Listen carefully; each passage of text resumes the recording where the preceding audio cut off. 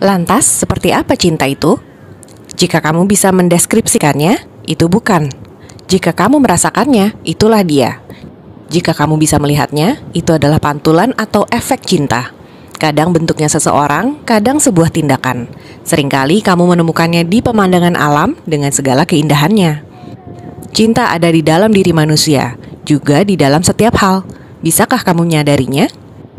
Rumi bilang, tugasmu bukanlah mencari cinta, tetapi mencari dan menemukan semua halangan di dalam dirimu yang telah kamu bangun melawan cinta. Cinta bisa ditemukan di mana keinginan lenyap. Ia adalah sebuah laut di mana si pintar tenggelam sebuah dorongan yang membebaskan. Cinta bukan tentang keamanan. Cinta adalah kondisi di mana tidak ada keinginan untuk aman, sebuah kondisi rentan. Artinya, kamu hanya bisa bertemu cinta saat kamu tanpa ego dalam kondisi meditatif. Yuk, sadar yuk!